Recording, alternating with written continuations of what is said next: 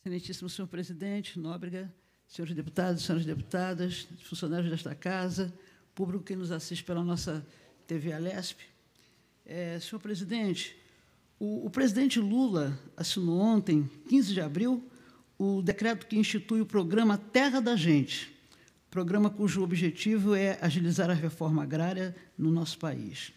Entre as novidades está a transferência de propriedade que pertencem a grandes devedores da União e a possibilidade de negociação com bancos, empresas públicas e governos estaduais para a transferência de imóveis rurais em troca do abatimento de dívidas ou permutas.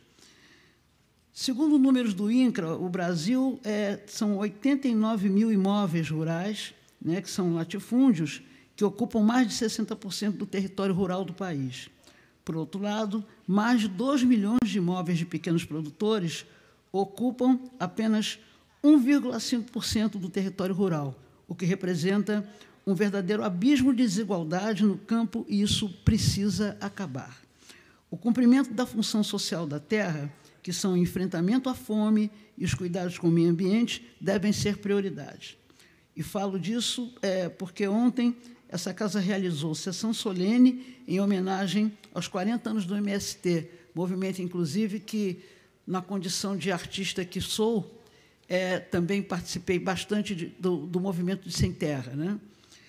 Um movimento social que trava uma luta fundamental da democratização do acesso à terra em nosso país e que merece respeito, respeito e reconhecimento.